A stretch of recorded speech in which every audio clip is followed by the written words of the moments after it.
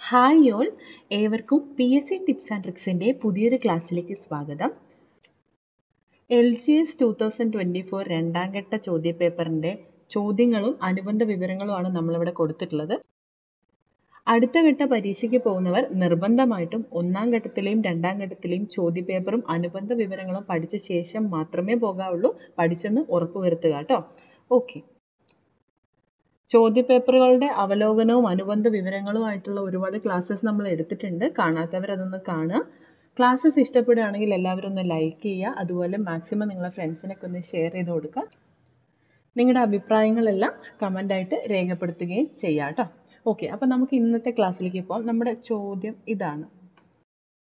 ഇന്ത്യയിലെ മുസ്ലിങ്ങളുടെ സാമൂഹികവും വിദ്യാഭ്യാസപരവുമായ പുരോഗതിക്കായി സ്ഥാപിച്ച സംഘടന ഏതാണ്? ഇന്ത്യയിലെ മുസ്ലിങ്ങളുടെ സാമൂഹികവും വിദ്യാഭ്യാസപരവുമായ പുരോഗതിക്കായി സ്ഥാപിച്ച സംഘടന അലിഗഡ് പ്രസ്ഥാനമാണ്. അലിഗഡ് പ്രസ്ഥാനം. S C R T text ബുക്കിൽ ഇതാ ഇതുപോലെ പരിഷ്കരണ പ്രസ്ഥാനങ്ങൾ പരിഷ്കർത്താക്കൾ ആശയങ്ങൾ എന്ന രീതിയിൽ ഒരു ടേബിൾ തന്നെ കൊടുത്തിട്ടുണ്ട്. ഇതെന്നാണ് നമുക്ക് ആ ചോദ്യം വന്നിട്ടുള്ളത്. ഇതിവിടെ നോക്കൂ. അലിഗഡ് പ്രസ്ഥാനം. അലിഗഡ് പ്രസ്ഥാനം. ആരാണ് പരിഷ്കർത്താവ്? സർ സയ്യദ് അഹമ്മദ് ഖാൻ. സർ സയ്യദ് അഹമ്മദ് ഖാൻ. എന്താണ് ഇവിടുത്തെ ആശയം പറയുന്നത്? ഇന്ത്യയിലെ മുസ്ലിങ്ങളുടെ സാമൂഹികവും വിദ്യാഭ്യാസപരവുമായ പുരോഗതിക്കായി വാദിച്ചു. ഇന്ത്യയിലെ മുസ്ലിങ്ങളുടെ സാമൂഹികവും വിദ്യാഭ്യാസപരവുമായ പുരോഗതിക്കായി വാദിച്ചു. ഇതല്ലേ നമ്മുടെ ആ സ്റ്റേറ്റ്മെന്റ്? അപ്പോൾ അവിടെ തന്നിട്ടുള്ള മറ്റ് പോയിന്റ്സ് കൂടെ നമുക്കൊന്ന് നോക്കാം. ആര്യ സമാജം ആര്യ സമാജം സ്വാമി ദയാനന്ദ സരസ്വതി. സ്വാമി ദയാനന്ദ സരസ്വതി വിഗ്രഹാരാധന ശൈശവ വിവാഹം എന്നിവയെ എതിർത്തു. ഇതാണ് ആര്യ സമാജത്തിന്റെ ആശയം. വിഗ്രഹാരാധന ശൈശവ വിവാഹം എന്നിവയെ എതിർത്തു. അടുത്തത് രാമകൃഷ്ണ മിഷനാണ് രാമകൃഷ്ണ മിഷന്റെ പരിഷ്കർത്താവ് സ്വാമി വിവേകാനന്ദനാണ്. വിവേകാനന്ദൻ. ജാതി വ്യവസ്ഥ അനാചാരങ്ങൾ എന്നിവയെ എതിർത്തു. സ്വാതന്ത്ര്യം സമത്വം സ്വതന്ത്ര ചിന്ത എന്നിവ പ്രോത്സാഹിപ്പിച്ചു. സ്വാതന്ത്ര്യം സമത്വം സ്വതന്ത്ര ചിന്ത എന്നിവയെ പ്രോത്സാഹിപ്പിച്ചു. ജാതി വ്യവസ്ഥ അനാചാരങ്ങൾ എന്നിവയെ എതിർത്തു. രാമകൃഷ്ണ മിഷന്റെ ആശയങ്ങളാണ്. അലിഗഡ് നമ്മൾ പറഞ്ഞു. പിന്നെയുള്ളത് പ്രാർത്ഥനാ സമാജം. പ്രാർത്ഥനാ സമാജം ആത്മാറാം പാണ്ഡുരംഗിന്റെ ആണ് ആത്മാറാം പാണ്ഡുരംഗാണ് പ്രാർത്ഥനാ സമാജം സ്ഥാപിക്കുന്നത്. മിശ്രഭോജനം മിശ്രവിവാഹം വിധവ പുനർവിവാഹം സ്ത്രീകളുടെയും പിന്നാക്ക ജനവിഭാഗങ്ങളുടെയും പുരോഗതി എന്നിവയ്ക്കായി നിലകൊണ്ടു. മിശ്രഭോജനം മിശ്രവിവാഹം വിധവ പുനർവിവാഹം സ്ത്രീകളുടെയും പിന്നാക്ക ജനവിഭാഗങ്ങളുടെയും പുരോഗതി എന്നിവയ്ക്കായി നിലകൊണ്ടു. അടുത്തത് തിയോസഫിക്കൽ സൊസൈറ്റി. ആനി ബസന്റിന്റെ ആണ് തിയോസഫിക്കൽ സൊസൈറ്റി. ഹിന്ദു മതത്തിന്റെ പുനരുദ്ധാരണത്തിനായി നിലകൊണ്ടു. അടുത്തത് തിയോസഫിക്കൽ സൊസൈറ്റി ആണ്. ആനി ബസന്റിന്റെ തിയോസഫിക്കൽ സൊസൈറ്റി. ഹിന്ദു മതത്തിന്റെ പുനരുദ്ധാനത്തിനായി നിലകൊണ്ടു. ഹിന്ദു മതത്തിന്റെ പുനരുദ്ധാനത്തിനായി നിലകൊണ്ടത് തിയോസഫിക്കൽ സൊസൈറ്റിയാണ്. ഹിതകാരിണി സമാജമാണ് അടുത്തത്. ഹിതകാരിണി സമാജം വീരേശലിംഗം പന്തലുവാണ് വിധവ പുനർവിവാഹത്തിനും സ്ത്രീകളുടെ വിദ്യാഭ്യാസത്തിനുമായി പ്രചാരണം നടത്തി. വിധവ പുനർവിവാഹത്തിനും സ്ത്രീകളുടെ വിദ്യാഭ്യാസത്തിനുമായി പ്രചാരണം നടത്തിയത് ഹിതകാരിണി സമാജമാണ്. ഹിതകാരിണി സമാജം വീരേശലിംഗം പന്തലു. സത്യശോധക് സമാജം ജ്യോതിബ ഭൂലെ അല്ലെങ്കിൽ ജ്യോതിറാവു ഭൂലെ. സത്യശോധക് സമാജം ദുരാചാരങ്ങളെയും പുരോഹിത മേധാവിത്വത്തെയും എതിർത്തു. ദുരാചാരങ്ങളെയും പുരോഹിത മേധാവിത്വത്തെയും എതിർത്തു. പിന്നാക്ക വിഭാഗക്കാർക്കായി വിദ്യാലയങ്ങൾ ആരംഭിച്ചു. പിന്നാക്ക വിഭാഗക്കാർക്കായിട്ട് വിദ്യാലയങ്ങൾ ആരംഭിച്ചത് സത്യശോധക് സമാജമാണ്. സ്വാഭിമാന പ്രസ്ഥാനം. സ്വാഭിമാന പ്രസ്ഥാനം E V Ramaswamy Naicker. E V Ramaswamy Naicker. ബ്രാഹ്മണ മേധാവിത്വത്തെയും ജാതി വ്യവസ്ഥയെയും എതിർത്തു. ബ്രാഹ്മണ മേധാവിത്വത്തെയും ജാതി വ്യവസ്ഥയെയും എതിർത്തത് സ്വാഭിമാന പ്രസ്ഥാനമാണ്. E V Ramasamy Naicker. അവസാനത്തത് Sreenarayana Dharma Paripalana Yogam. Sreenarayana Dharma Paripalana Yogam Sreenarayana ഗുരു. ജാതി വ്യവസ്ഥയെയും ദുരാചാരങ്ങളെയും എതിർത്തു. പിന്നാക്ക ജനവിഭാഗങ്ങളുടെ സാമൂഹികവും വിദ്യാഭ്യാസപരവുമായ പുരോഗതിക്കായി നിലകൊണ്ടു. പിന്നാക്ക ജനവിഭാഗങ്ങളുടെ സാമൂഹികവും വിദ്യാഭ്യാസപരവുമായ പുരോഗതിക്കായി നിലകൊണ്ടു. എന്തൊക്കെയാ പറഞ്ഞത്? ആര്യ സമാജം സ്വാമി ദയാനന്ദ സരസ്വതി വിഗ്രഹാരാധന ശൈശവ വിവാഹം എന്നിവയെ എതിർത്തു. രാമകൃഷ്ണ മിഷൻ സ്വാമി വിവേകാനന്ദൻ ജാതി വ്യവസ്ഥ അനാചാരങ്ങൾ എന്നിവയെ എതിർത്തു.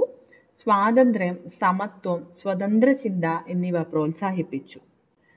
അലിഗഡ് പ്രസ്ഥാനം നമ്മൾ പറഞ്ഞു. സർ സയ്യിദ് അഹമ്മദ് ഖാൻ ആണ്. ഇന്ത്യയിലെ മുസ്ലിങ്ങളുടെ സാമൂഹികവും വിദ്യാഭ്യാസപരവുമായ പുരോഗതിക്കായി വാദിച്ചു. പ്രാർത്ഥനാ സമാജം ആത്മാറാം പാണ്ഡുരംഗാണ്. മിശ്രഭോജനം മിശ്രവിവാഹം വിധവാ പുനർവിവാഹം സ്ത്രീകളുടെയും പിന്നാക്ക ജനവിഭാഗങ്ങളുടെയും പുരോഗതി എന്നിവയ്ക്കായി നിലകൊണ്ടു. Theosophical Society Annie Besant Hindu മതത്തിന്റെ പുനരുദ്ധാനത്തിനായി നിലകൊണ്ടു. ഹിതകാരിണി സമാജം വീരേശലിംഗം പന്തലു.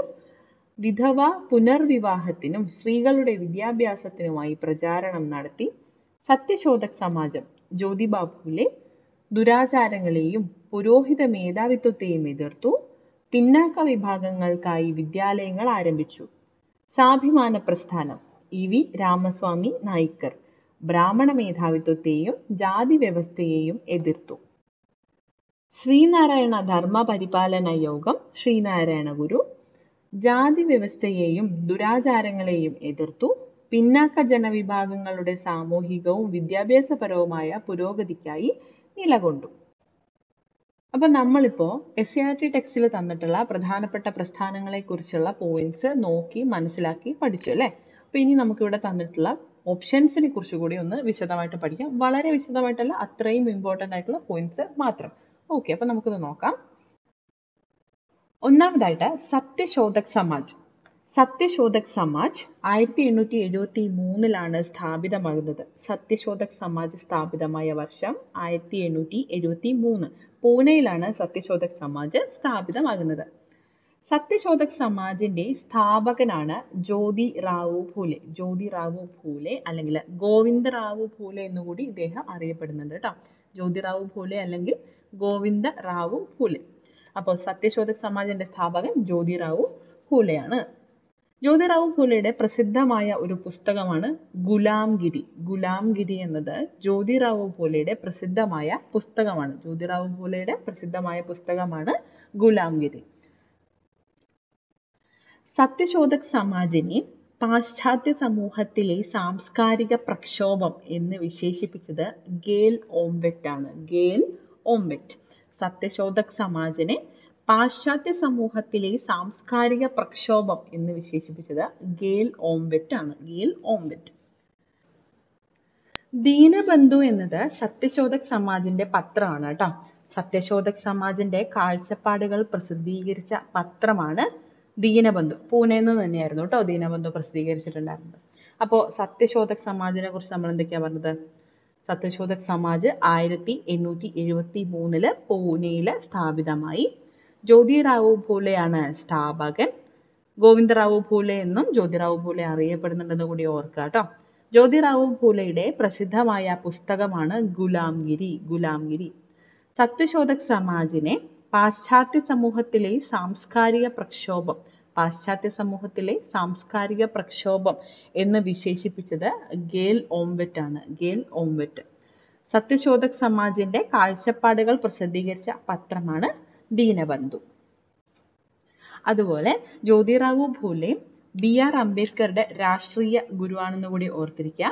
ഇന്ത്യയിൽ ആദ്യമായി ശിവജയന്തി സംഘടിപ്പിച്ച വ്യക്തിയും ജ്യോതിറാവു ഭൂലെയാണ് ഇന്ത്യയിൽ ആദ്യമായി ശിവജയന്തി സംഘടിപ്പിച്ച വ്യക്തിയും ബി ആർ അംബേദ്കറുടെ രാഷ്ട്രീയ ഗുരുവും ജ്യോതിറാവു ഭൂലെയാണ് ഓക്കെ അടുത്തത്. Theosophical society. തിയോസഫിക്കൽ സൊസൈറ്റി സ്ഥാപിതമായ വർഷം ആയിരത്തി എണ്ണൂറ്റി എഴുപത്തി അഞ്ചാണ് ആയിരത്തി എണ്ണൂറ്റി എഴുപത്തി അഞ്ചിലാണ് തിയോസഫിക്കൽ സൊസൈറ്റി സ്ഥാപിതമാകുന്നത് തിയോസഫിക്കൽ സൊസൈറ്റി രൂപം കൊണ്ടത് ന്യൂയോർക്കിലാണ് ന്യൂയോർക്ക് തിയോസഫിക്കൽ സൊസൈറ്റി രൂപം കൊള്ളുന്നത് ന്യൂയോർക്കിലാണ് തിയോസഫിക്കൽ സൊസൈറ്റിയുടെ സ്ഥാപകരാണ് ബ്ലാവഡ്സ്കിയും ഹെൻറി ഓൾക്കോട്ടും ബ്ലാവഡ്സ്കിയും ഹെൻറി ഓൾക്കോട്ടും ഓക്കെ തിയോസഫിക്കൽ സൊസൈറ്റിയുടെ ഇന്ത്യയിലെ ആസ്ഥാനം എവിടെയാണ്? തിയോസഫിക്കൽ സൊസൈറ്റിയുടെ ഇന്ത്യയിലെ ആസ്ഥാനം ചെന്നൈയിലെ അടയാറിലാണ്. അടയാർ ചെന്നൈയിലെ അടയാറിലാണ്. അടയാറിൽ സ്ഥാപിതമായ ഈ തിയോസഫിക്കൽ സൊസൈറ്റിയുടെ പ്രഥമ നേതാവാണ് Annie Besant Annie Besant okay. Theosophical society മലബാറിൽ സ്ഥാപിക്കപ്പെട്ടിട്ടുണ്ട്. അതിന്റെ സ്ഥാപകനാണ് അല്ലെങ്കിൽ അത് സ്ഥാപിച്ച വ്യക്തിയാണ് മഞ്ചേരി രാമയ്യർ. മഞ്ചേരി രാമയ്യർ. തിയോസഫിക്കൽ സൊസൈറ്റി സ്ഥാപിതമായ വർഷം ആയിരത്തി എണ്ണൂറ്റി എഴുപത്തി അഞ്ച് എവിടെയാണ് രൂപം കൊണ്ടത്? ന്യൂയോർക്കിലാണ്. സ്ഥാപകരാരൊക്കെയാണ്? Blavatsky and Henry Olcott. Theosophical സൊസൈറ്റിയുടെ സ്ഥാപകരാണ് Blavatsky and Henry Olcott. Theosophical സൊസൈറ്റിയുടെ ഇന്ത്യയിലെ ആസ്ഥാനം അടയാറിലാണ്. ചെന്നൈ. അതിന്റെ സ്ഥാപക അല്ലെങ്കിൽ പ്രധാന നേതാവ് ആനി ബസന്റ് ആണ് തിയോസഫിക്കൽ സൊസൈറ്റി മലബാറിൽ സ്ഥാപിച്ച വ്യക്തിയാണ് മഞ്ചേരി രാമയ്യർ തിയോസഫിക്കൽ സൊസൈറ്റി മലബാറിൽ സ്ഥാപിച്ച വ്യക്തിയാണ് മഞ്ചേരി രാമയ്യർ. അടുത്തത് അലിഗഡ് പ്രസ്ഥാനമാണ്. ആയിരത്തി എണ്ണൂറ്റി എഴുപത്തി അഞ്ചിലാണ് അലിഗഡ് പ്രസ്ഥാനം സ്ഥാപിക്കുന്നത്. അലിഗഡ് പ്രസ്ഥാനം ആരംഭിക്കുന്ന വർഷം ആയിരത്തി എണ്ണൂറ്റി എഴുപത്തി അഞ്ചിലാണ്. അലിഗഡ് പ്രസ്ഥാനം ആരംഭിച്ചത് സർ സയ്യിദ് അഹമ്മദ് ഖാനാണ്. സർ സയ്യദ് അഹമ്മദ് ഖാൻ മുസ്ലിം നവാധാന പ്രസ്ഥാനങ്ങളുടെ സമുന്നത നേതാവ് എന്നറിയപ്പെടുന്നത് ഇദ്ദേഹമാണ് സർ സയ്യിദ് അഹമ്മദ് ഖാൻ. അതുപോലെ ഹിന്ദുവും മുസ്ലിമും ഇന്ത്യയുടെ രണ്ട് കണ്ണുകളാണെന്ന് അഭിപ്രായപ്പെട്ട വ്യക്തിയും സർ സയ്യിദ് അഹമ്മദ് ഖാൻ ആണ്. ഹിന്ദുവും മുസ്ലിമും ഇന്ത്യയുടെ രണ്ട് കണ്ണുകളാണെന്ന് അഭിപ്രായപ്പെട്ട വ്യക്തിയും സർ സയ്യിദ് അഹമ്മദ് ഖാൻ ആണ്. ബ്രിട്ടീഷ് ഗവൺമെന്റിന്റെ Order of the Star of India നേടിയ ഇന്ത്യൻ സാമൂഹിക പരിഷ്കർത്താവാണ് സർ സയ്യദ് അഹമ്മദ് ഖാൻ. ബ്രിട്ടീഷ് ഗവൺമെന്റിന്റെ Order of the Star of India നേടിയ ഇന്ത്യൻ സാമൂഹിക പരിഷ്കർത്താവ് ആരാണ്? സർ സയ്യദ് അഹമ്മദ് ഖാൻ. ഇനി Muhammadan Anglo Oriental College Aligarh Muslim സർവകലാശാലയായി മാറിയ വർഷമാണ് ആയിരത്തി തൊള്ളായിരത്തി ഇരുപത്. Muhammadan Anglo Oriental College Aligarh Muslim സർവകലാശാലയായി മാറിയ വർഷം ആയിരത്തി തൊള്ളായിരത്തി ഇരുപതാണ് അടുത്തത് അലിഗഡ് മുസ്ലിം സർവകലാശാല ഇപ്പോൾ എവിടെയാണ് സ്ഥിതി ചെയ്യുന്നത്? അത് ഉത്തർപ്രദേശിലാണ് ഉത്തർപ്രദേശിൽ അലിഗഡ് മുസ്ലിം സർവകലാശാല ഇപ്പോൾ സ്ഥിതി ചെയ്യുന്നത് ഉത്തർപ്രദേശിലാണ്. ഇനി താസീബ് അൽ അഖ്ലാഖ്. താസീബ് അൽ അഖ്ലാഖ് സർ സയ്യദ് അഹമ്മദ് ഖാൻ ആരംഭിച്ച മാസികയുടെ പേരാണ് കേട്ടോ മാസിക. താസീബ് അൽ അഖ്ലാഖ് എന്നത് സർ സയ്യദ് അഹമ്മദ് ഖാൻ ആരംഭിച്ച മാസികയാണ്. നമ്മൾ എന്തൊക്കെയാ പറഞ്ഞത്? അലിഗഡ് പ്രസ്ഥാനം ആയിരത്തി എണ്ണൂറ്റി എഴുപത്തി അഞ്ചിൽ ആരംഭിച്ചു. ആരംഭിച്ചത് ആരാണ്? സർ സയ്യദ് അഹമ്മദ് ഖാൻ ആണ്. അലിഗഡ് പ്രസ്ഥാനം ആരംഭിച്ചത് സർ സയ്യദ് അഹമ്മദ് ഖാൻ ആണ്. അദ്ദേഹം മുസ്ലിം നവോത്ഥാന പ്രസ്ഥാനങ്ങളുടെ ഒരു സമുന്നത നേതാവാണ്. ഹിന്ദുവും മുസ്ലിമും ഇന്ത്യയുടെ രണ്ട് കണ്ണുകളാണെന്ന് അഭിപ്രായപ്പെട്ട വ്യക്തിയാണ് സർ സയ്യിദ് അഹമ്മദ് ഖാൻ. ബ്രിട്ടീഷ് ഗവൺമെന്റിന്റെ Order of the Star of India നേടിയ ഇന്ത്യൻ സാമൂഹിക പരിഷ്കർത്താവ് sir Syed Ahmed ഖാനാണ്. Muhammadan Anglo Oriental College Aligarh Muslim സർവകലാശാലയായി മാറിയ വർഷം ആയിരത്തി തൊള്ളായിരത്തി ഇരുപതാണ് അലിഗഡ് മുസ്ലിം സർവകലാശാല ഇപ്പോൾ ഉത്തർപ്രദേശിലാണ് സ്ഥിതി ചെയ്യുന്നത്. സർ സയ്യദ് അഹമ്മദ് ഖാൻ ആരംഭിച്ച മാസികയാണ് താസീബ് അൽ അഖ്ലഖ്. താസീബ് അൽ അഖ്ലഖ്. അടുത്തത് പ്രാർത്ഥനാ സമാജമാണ് പ്രാർത്ഥനാ സമാജത്തിന്റെ സ്ഥാപകൻ ആത്മാറാം പാണ്ഡുരംഗാണ്. ഡോക്ടർ ആത്മാറാം പാണ്ഡുരംഗാണ് പ്രാർത്ഥനാ സമാജത്തിന്റെ സ്ഥാപകൻ. പ്രാർത്ഥനാ സമാജം സ്ഥാപിതമാകുന്നത് ആയിരത്തി എണ്ണൂറ്റി അറുപത്തി ഏഴിലാണ് പ്രാർത്ഥനാ സമാജം സ്ഥാപിതമായ വർഷം ആയിരത്തി എണ്ണൂറ്റി അറുപത്തി ഏഴ് പ്രാർത്ഥനാ സമാജത്തിന്റെ സ്ഥാപകൻ ഡോക്ടർ ആത്മാറാം പാണ്ഡുരംഗ് പ്രാർത്ഥനാ സമാജം അറിയപ്പെട്ടിരുന്ന മറ്റൊരു പേരാണ് പ്രയർ സൊസൈറ്റി. പ്രയർ സൊസൈറ്റി എന്നാണ് പ്രാർത്ഥനാ സമാജം അറിയപ്പെട്ടിരുന്നത്. പ്രാർത്ഥനാ സമാജം സ്ഥാപിതമായ വർഷം ആയിരത്തി എണ്ണൂറ്റി അറുപത്തി ഏഴ് ആയിരത്തി എണ്ണൂറ്റി അറുപത്തി ഏഴ് ഡോക്ടർ ആത്മാറാം പാണ്ഡുരംഗാണ് പ്രാർത്ഥനാ സമാജത്തിന്റെ സ്ഥാപകൻ. പ്രയർ സൊസൈറ്റി എന്നുകൂടി ഈ ഒരു പ്രാർത്ഥനാ സമാജം അറിയപ്പെട്ടിരുന്നു കൂടി ഓർത്തിരിക്കുക കേട്ടോ. അടുത്ത ചോദ്യം. താഴെ പറയുന്ന പ്രസ്താവനകളിൽ ശരിയേത് കാൺപൂർ കേന്ദ്രമാക്കി സ്വാതന്ത്ര്യ സമരം നയിച്ചിരുന്ന നേതാക്കന്മാരായിരുന്നു നാനാ സാഹിബും താന്തിയ തോപ്പിയും. ഈ ഒരു സ്റ്റേറ്റ്മെന്റ് ആണ് ഇവിടെ കറക്റ്റ് ആയിട്ടുള്ള ആൻസർ നമ്മുടെ ഉത്തരം വരുന്നത് ഓപ്ഷൻ ബി ആണ്. ഒന്ന് മാത്രം. അപ്പൊ ബാക്കിയുള്ളതിൽ എന്താ തെറ്റ് എന്നുള്ളതൊക്കെ നമുക്ക് ടെക്സ്റ്റ് ബുക്ക് ബേസ് ആക്കി തന്നെ പഠിക്കാം കേട്ടോ. ഇവിടെ നോക്കിക്കേ. സൈനിക മേധാവികൾക്കെതിരെ സംഘടിതമായ രീതിയിൽ കലാപങ്ങൾ ആരംഭിച്ചത് മീററ്റിലാണ് മീററ്റിൽ കലാപങ്ങൾക്കിറങ്ങിയ സൈനികർ ഡൽഹിയിലെത്തി. അവസാനത്തെ മുഗൾ ഭരണാധികാരിയായിരുന്ന ബഹദൂർ ഷാ രണ്ടാമനെ ഇന്ത്യയുടെ ചക്രവർത്തിയായി പ്രഖ്യാപിച്ചു. ബഹദൂർ ഷാ രണ്ടാമനെ ഇന്ത്യയുടെ ചക്രവർത്തിയായി പ്രഖ്യാപിച്ചു. കലാപം മീററ്റിൽ മാത്രമല്ല ഉത്തരേന്ത്യയുടെ പല ഭാഗങ്ങളിലും പൊട്ടിപ്പുറപ്പെട്ടു. അധികാരം നഷ്ടപ്പെട്ട നാട്ടുരാജാക്കന്മാരും കലാപത്തിൽ പങ്കുചേർന്നു. കാൺപൂർ ലക്നൗ അലഹബാദ് ഝാൻസി ആര ഫൈസാബാദ് തുടങ്ങിയ പ്രദേശങ്ങളിലേക്ക് കലാപം പടർന്നു. കാൺപൂരിൽ നാനാ സാഹിബും താന്തിയ തോപ്പിയും ഝാൻസിയിൽ റാണി ലക്ഷ്മിഭായ് ലക്നൌവിൽ ബീഗം ഹസ്രത് മഹൽ ഫൈസാബാദിൽ മൗലവി അഹമ്മദുള്ള ആരയിൽ കൻവർ സിംഗ് എന്നിവരായിരുന്നു സമരം നയിച്ചത്. എന്നാൽ ഈ കലാപം കമ്പനി അടിച്ചമർത്തി. ബഹദൂർ ഷാ സഫറിനെ റംഗൂണിലേക്ക് നാടുകടത്തി. ഇങ്ങനെയാണ് എസ് ആർ ടിയിൽ കൊടുത്തിട്ടുള്ളത്. അപ്പോൾ എന്താ പറഞ്ഞത്? കാൺപൂരിൽ നാനാ സാഹിബും താന്തിയ തോപ്പിയും.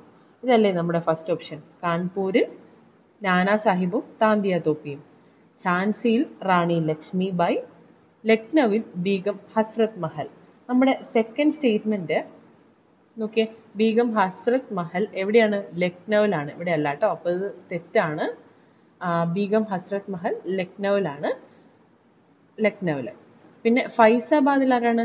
മൗലവി അഹമ്മദുള്ള. മൗലവി അഹമ്മദുള്ളയാണ് ഫൈസാബാദിൽ അപ്പോൾ ഈ ഇത് രണ്ടും ഓപ്പോസിറ്റ് ആയിട്ടാണ് കൊടുത്തിട്ടുള്ളത്. അപ്പോൾ നമ്മളൊന്ന് പഠിക്കുമ്പോൾ അത് കറക്റ്റായിട്ടൊന്ന് പഠിക്കുക കേട്ടോ. ഓക്കെ അപ്പോൾ അടുത്ത് എന്താ പറഞ്ഞത് ഫൈസാബാദിൽ മൗലവി അഹമ്മദുള്ള എന്ന് പറഞ്ഞു. ആരയിൽ കൺവർസിങ് ആരയിൽ കൺവർസിങ് എന്നിവരായിരുന്നു സമരം നയിച്ചത്. അത് മറ്റൊരു എസ് ആർ ടെക്സ്റ്റിൽ ടേബിൾ ആയിട്ട് കൊടുത്തു നമുക്ക് ഇവിടെ കൊടുത്തിട്ടുണ്ട് നോക്കാം. കലാപസ്ഥലം ഡൽഹി. അവിടെ ബഹദൂർ ഷാ സഫർ അല്ലെങ്കിൽ ബഹദൂർ ഷാ രണ്ടാമനാണ് നേതാവ്. ഝാൻസിയിൽ റാണി ലക്ഷ്മിബായി ലക്നൌവിൽ ബീഗം ഹസ്രത് മഹൽ കാൺപൂരിൽ നാനാ സാഹിബും താന്തിയ തോപ്പിയുമാണ് ഫൈസാബാദിൽ മൗലവി അഹമ്മദുള്ള. ഡൽഹിയിൽ ബഹദൂർ ഷാ രണ്ടാമൻ ഝാൻസിയിൽ റാണി ലക്ഷ്മി ലക്ഷ്മിബായ് ലക്നൌവിൽ ബീഗം ഹസ്രത് മഹൽ കാൺപൂരിൽ നാനാ സാഹിബ് പിന്നെ താന്തിയ തോപ്പി ഫൈസാബാദിൽ മൗലവി അഹമ്മദുള്ള ഇവിടെ ആരുടെ കാര്യം കൂടെ പറയുന്നത് അതുകൂടെ ഓർക്കുക. ആരയിൽ കൺവർസിംഗ് ആണ്. ആരയിൽ കൺവർസിംഗ് ആണ് കലാപം നയിച്ചിട്ടുണ്ടായിരുന്നത്. ഓക്കെ നമ്മുടെ അടുത്ത ചോദ്യം ഇതാണ്. ചേരുംപടി ചേർക്കുക. രചയിതാക്കൾ കൃതികൾ എന്നിങ്ങനെ തന്നിട്ടുണ്ട്. ഇതിൽ ചേരുംപടി ചേർക്കാനാണ് പറഞ്ഞിട്ടുള്ളത്. വരാഹമിഹിരൻ ലഘു ജാതകമാണ്. കാളിദാസൻ വിക്രമോർവശീയം വിശാഖദത്തൻ മുദ്രാരാക്ഷസം ശൂദ്രകൻ മൃച്ഛകടികമാണ് അപ്പോൾ ഈ ഒരു ടോപ്പിക് നമുക്ക് തന്നിട്ടുള്ളത് എയ്ത്ത് സ്റ്റാൻഡേർഡിലെ എസ് സി ആർ ടിയിലെ സോഷ്യലിന്റെ സെക്കൻഡ് പാർട്ട് ടെക്സ്റ്റിലാണ് കേട്ടോ ഇത് ഇങ്ങനെയാണ് കൊടുത്തിട്ടുള്ളത്. രചയിതാക്കൾ കൃതികൾ മേഖലകൾ എന്ന് കൊടുത്തിട്ടുണ്ട്. അപ്പോൾ നമുക്ക് ഈ ഒരു ടേബിൾ പഠിക്കുകയാണെങ്കിൽ അത് എളുപ്പമായിരിക്കും. നമുക്ക് നോക്കാം. കാളിദാസന്റെ പ്രധാനപ്പെട്ട കൃതികളാണ് അഭിജ്ഞാന ശാകുന്തളം വിക്രമോർവശീയം മാളവികാഗ്നിമിത്രം കുമാര സംഭവം അഭിജ്ഞാന ശാകുന്തളം വിക്രമോർവശീയം മാളവിക അഗ്നിമിത്രം കുമാര സംഭവം സാഹിത്യ വിഭാഗത്തിൽ പെടുന്നതാണ്. അടുത്തത് ശൂദ്രകനാണ്. ശൂദ്രകൻ മൃച്ഛകടികം. സാഹിത്യമാണ് മൃച്ഛകടികം. വിശാഖദത്തൻ മുദ്രാരാക്ഷസം ദേവി ചന്ദ്രഗുപ്തം അതും സാഹിത്യ വിഭാഗത്തിൽ തന്നെ പെടുന്നതാണ്. പിന്നീട് വരാഹമിഹിരനാണ്. വരാഹമിഹിരന്റെ ഇത് കണ്ട? ലഘു ജാതകം ഇവിടെ കൊടുത്തിട്ടുണ്ട്. അത് കൂടാതെ പഞ്ചസിദ്ധാന്തിക ബൃഹത് ജാതകം എന്നിവയും വരാഹമിഹിരന്റെതാണ് ഇത് ശാസ്ത്ര മേഖലയിൽ പെട്ടതാണ് കേട്ടോ. എല്ലാ മേഖലയും ഏതാണെന്ന് വ്യക്തമായിട്ട് അറിയില്ലെങ്കിലും നമുക്ക് കൃതികളും രചയിതാക്കളും ഏകദേശം ഒന്ന് കണക്ട് ചെയ്യാനായിട്ടെങ്കിലും ഈ ഓരോ പോയിന്റ്സ് പഠിക്കുന്നതുകൊണ്ട് സഹായിക്കും. അതായത് ഓപ്ഷൻസ് എലിമിനേറ്റ് ചെയ്യാൻ. ഇപ്പൊ ഇത് ഇതല്ല എന്ന് നമ്മൾ അറിയുകയാണെങ്കിൽ അതിനനുസരിച്ച് ഓപ്ഷൻസിലേക്ക് എത്താൻ പറ്റുമല്ലോ. അതുകൊണ്ടാണ് ഇത് എല്ലാം നമ്മളൊന്ന് പഠിച്ചിരിക്കണം എന്നുള്ളത് പറയുന്നത്. ഏകദേശം ഒരു ഐഡിയയിലെങ്കിലും പഠിച്ചിരിക്കണം. നമുക്ക് പറയാം. ആര്യഭടൻ ആര്യഭടീയം ശാസ്ത്ര വിഭാഗത്തിലാണ് അമരസിംഹൻ അമരകോശം ഭാഷാ നിഘണ്ടു. ഇത് കണക്ട് ചെയ്യാം അല്ലെ? ആര്യഭടൻ ആര്യഭടീയം അമരസിംഹൻ അമരകോശം. വരാഹമിഹിരന്റേത് പഞ്ചസിദ്ധാന്തിക ലഘുജാതകം ബൃഹത് ജാതകം ലഘുജാതകം ബൃഹത് ജാതകം ഇത് രണ്ടും ഇവിടെ ഉണ്ട്. പഞ്ചസിദ്ധാന്തികയും കൂടെ. ഒന്ന് കണക്ട് ചെയ്യാം കേട്ടോ വിശാഖദത്തൻ മുദ്രാരാക്ഷസം ദേവി ചന്ദ്രഗുപ്തം. മുദ്രാരാക്ഷസം ദേവി ചന്ദ്രഗുപ്തം. ശൂദ്രകൻ മൃച്ഛകടികം ശൂദ്രകൻ മൃച്ഛകടികം കാളിദാസൻ അഭിജ്ഞാന ശാകുന്തളം. വിക്രമോർവശീയ മാളവികാഗ്നിമിത്രം കുമാരൻ സംഭവം. ഓക്കെ? അപ്പോ ചോദ്യം പരിചയപ്പെട്ടല്ലോ? അടുത്തതിലേക്ക് പോവാം. സമൂഹശാസ്ത്രത്തിന്റെ പിതാവ് ആരാണ്? സമൂഹശാസ്ത്രത്തിന്റെ പിതാവ് അഗസ്ത് കോംതയാണ്. അഗസ്ത് കോംതയാണ് സമൂഹശാസ്ത്രത്തിന്റെ പിതാവ്. ആദ്യകാല സമൂഹശാസ്ത്ര ചിന്തകർ എന്ന ഈ ഒരു ഭാഗത്തിൽ എസ് ആർ ടിയിൽ ഇത് കൊടുത്തിട്ടുണ്ട്. നമുക്ക് നോക്കാം. വിപ്ലവാനന്തരം ഫ്രാൻസിലുണ്ടായ സാമൂഹിക പ്രശ്നങ്ങളാണ് സമൂഹശാസ്ത്രത്തിന്റെ ഉദ്ഭവത്തിലേക്ക് നയിച്ചത്.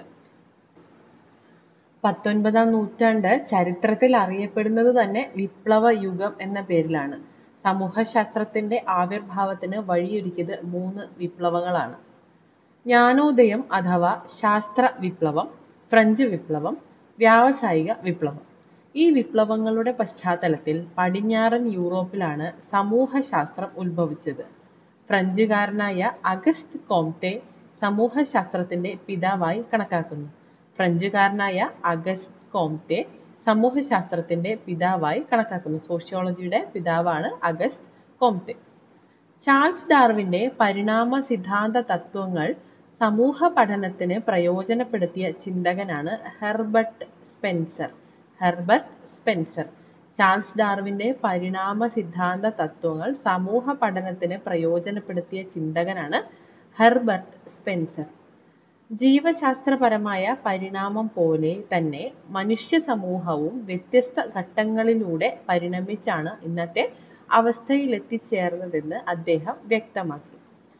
Karl Marx Emile Durkheim Max Weber മുതലായ നിരവധി ചിന്തകർ സമൂഹശാസ്ത്രത്തിന്റെ വികാസത്തിന് പ്രധാന സംഭാവനകൾ നൽകിയവരാണ്. സമൂഹശാസ്ത്രം ഇന്ത്യയിൽ ഇന്ത്യയിൽ ഇരുപതാം നൂറ്റാണ്ടിന്റെ തുടക്കത്തിൽ തന്നെ സമൂഹശാസ്ത്ര പഠനം ആരംഭിച്ചു. ബോംബെ സർവകലാശാലയിലാണ് ആദ്യത്തെ സമൂഹശാസ്ത്ര പഠന വകുപ്പ് ആരംഭിക്കുന്നത്. ഇന്ത്യയിൽ ബോംബെ സർവകലാശാലയിലാണ് ആദ്യത്തെ സമൂഹശാസ്ത്ര പഠന വകുപ്പ് ആരംഭിക്കുന്നത്.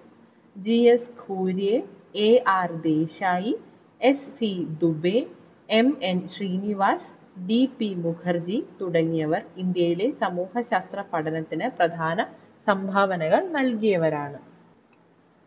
അപ്പോൾ ഇവിടെ നമ്മൾ പറഞ്ഞു ഫ്രഞ്ചുകാരനായ അഗസ്റ്റ് കോംതെ സോഷ്യോളജിയുടെ അല്ലെങ്കിൽ സമൂഹശാസ്ത്രത്തിന്റെ പിതാവായി കണക്കാക്കുന്നു എന്ന്. ഇതാണ് നമ്മുടെ ചോദ്യം വന്നത്. പിന്നെ ഓപ്ഷൻസിൽ പറഞ്ഞിട്ടുള്ളത് കാൾ മാക്സ് എമെയിൽ ദുർഖീം എന്നീ രണ്ടുപേരും പിന്നെ അരിസ്റ്റോട്ടിലാണ്. അപ്പൊ കാൾ മാക്സ് എമിൽ ദുർഖീം എന്നിവർ സമൂഹശാസ്ത്രത്തിന്റെ വികാസത്തിന് പ്രധാന സംഭാവനകൾ നൽകിയ ചിന്തകരാണ്. ഇവർ സമൂഹശാസ്ത്രവുമായി ബന്ധപ്പെട്ട ചിന്തകരാണ്. പിന്നെ ഇവിടെ എക്സ്ട്രാ ഒരു പോയിന്റ് പറഞ്ഞിട്ടുള്ളത് ചാൾസ് ഡാർവിന്റെ പരിണാമ സിദ്ധാന്ത തത്വങ്ങൾ സമൂഹ പഠനത്തിന് പ്രയോജനപ്പെടുത്തിയ ചിന്തകനാണ് ഹെർബർട്ട് സ്പെൻസർ. ദാ ഇവിടെയുണ്ട് ഹെർബർട്ട് സ്പെൻസർ. ഓക്കെ അടുത്ത് നമ്മൾ ഇവിടെ പറഞ്ഞിട്ടുള്ളത് ബോംബെ സർവകലാശാലയിലാണ് ആദ്യത്തെ സമൂഹശാസ്ത്ര പഠന വകുപ്പ് ആരംഭിക്കുന്നത്. ബോംബെ സർവകലാശാലയിലാണ് ആദ്യത്തെ സമൂഹശാസ്ത്ര പഠന വകുപ്പ് ആരംഭിക്കുന്നത്.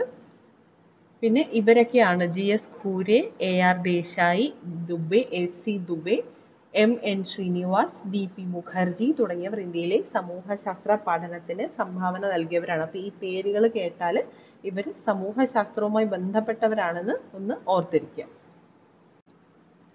അപ്പൊ നമ്മൾ ഈ ഒരു ചോദ്യത്തിന്റെ ഓപ്ഷൻസ് എമിയൽ ഗുർഖീം കാൽമാക്സ് എന്നിവർ സമൂഹശാസ്ത്രത്തിന്റെ ചിന്തകരാണ് നമ്മൾ കണ്ടു. ഇനിയുള്ളത് അരിസ്റ്റോട്ടിലാണ്. അരിസ്റ്റോട്ടിൽ ഒരു ഗ്രീക്ക് തത്വചിന്തകനാണ് നമുക്കറിയാം അല്ലെ? ഇവരുടെ ഒരു ശിഷ്യന്മാരുടെ ഒരു ചെയിൻ അല്ലേ അത് നിങ്ങൾക്ക് അറിയാമോ? സ്പാ എന്നൊരു കോഡ് ഉണ്ട്. നിങ്ങൾ കേട്ടിട്ടുണ്ടോ? സ്പാ. അതായത് സോക്രട്ടീസ് പ്ലേറ്റോ അരിസ്റ്റോട്ടിൽ അലക്സാണ്ടർ. ഇതാണ് സ്പാ. കുറെ പേരെങ്കിലും കേട്ടിട്ടുണ്ടാവും അല്ലെ? സോക്രട്ടീസിന്റെ ശിഷ്യനാണ് പ്ലേറ്റോ. പ്ലേറ്റോയുടെ ശിഷ്യനാണ് അരിസ്റ്റോട്ടിൽ. അരിസ്റ്റോട്ടിലിന്റെ ശിഷ്യനാണ് അലക്സാണ്ടർ. ലാസ്റ്റ് വരുന്നത് അലക്സാണ്ടർ എന്ന് ഓർത്താൽ മതി. ബാക്കി നമുക്ക് കിട്ടുമല്ലോ. അപ്പോൾ അരിസ്റ്റോട്ടിൽ എന്നത് പ്ലേറ്റോയുടെ ശിഷ്യനും അലക്സാണ്ടറിന്റെ ഗുരുവുമാണ്. അദ്ദേഹം ഒരു ഗ്രീക്ക് തത്വ ചിന്തകനാണ് അപ്പോൾ ഇതൊന്ന് ജസ്റ്റ് ഓർത്തിരിക്കുക കേട്ടോ. Socrates Plato Aristotle Alexander. നമ്മുടെ ക്ലാസ്സുകൾ എല്ലാവരും പരമാവധി പ്രയോജനപ്പെടുത്തുക. കൂടുതൽ ചോദ്യങ്ങൾ വർക്കൗട്ട് ചെയ്യുക. പഠിച്ചത് വീണ്ടും വീണ്ടും റിവൈസ് ചെയ്യുക. അതുപോലെ നമ്മുടെ ക്ലാസ്സുകൾ ഇഷ്ടമാണെങ്കിൽ ലൈക്ക് ചെയ്യുക. പരമാവധി നിങ്ങളുടെ ഫ്രണ്ട്സിലേക്ക് ഇത് ഷെയർ ചെയ്യുക. അതുപോലെ നിങ്ങളുടെ അഭിപ്രായങ്ങൾ കമൻസ് ആയിട്ട് രേഖപ്പെടുത്തുക കൂടി ചെയ്യുക കേട്ടോ പിന്നെ ശ്രദ്ധിക്കേണ്ട മറ്റൊരു കാര്യം എന്താണെന്ന് വെച്ചാൽ നമ്മുടെ ടെലിഗ്രാം ചാനലിൽ ഇതുവരെയും ജോയിൻ ചെയ്തിട്ടില്ലാത്തവർ എത്രയും പെട്ടെന്ന് തന്നെ ജോയിൻ ചെയ്യാനായിട്ട് ശ്രദ്ധിക്കുക. നമ്മുടെ പ്രധാനപ്പെട്ട അപ്ഡേറ്റ്സും നിങ്ങൾക്ക് ആവശ്യമായിട്ടുള്ള പി ഡി എഫ്സും എല്ലാ കാര്യങ്ങളും തന്നെ നമ്മൾ ഷെയർ ചെയ്യുന്നത് ടെലിഗ്രാം വഴിയായിരിക്കും. അപ്പോൾ നിങ്ങൾ ടെലിഗ്രാമിൽ ജോയിൻ ചെയ്തിട്ടുണ്ടെങ്കിൽ നിങ്ങൾക്ക് കൃത്യമായിട്ട് അപ്പോൾ തന്നെ അപ്ഡേറ്റ്സ് കിട്ടുന്നതായിരിക്കും കേട്ടോ അപ്പോൾ ഇതുവരെ ജോയിൻ ചെയ്തിട്ടില്ലാത്തവർ ജോയിൻ ചെയ്യുക ടെലിഗ്രാമിൽ ജോയിൻ ചെയ്യാനായിട്ടുള്ള ലിങ്ക് നമ്മൾ ഡിസ്ക്രിപ്ഷൻ ബോക്സിൽ കൊടുത്തിട്ടുണ്ട്. അപ്പോൾ എല്ലാവരും നന്നായിട്ട് പഠിക്കുക. അല്പാൽപ്പായിട്ടാണെങ്കിലും എല്ലാ ദിവസവും പഠിക്കുന്നുണ്ടെന്ന് ഉറപ്പ് വരുത്തുക കേട്ടോ അപ്പോൾ എല്ലാവർക്കും താങ്ക് സോ മച്ച്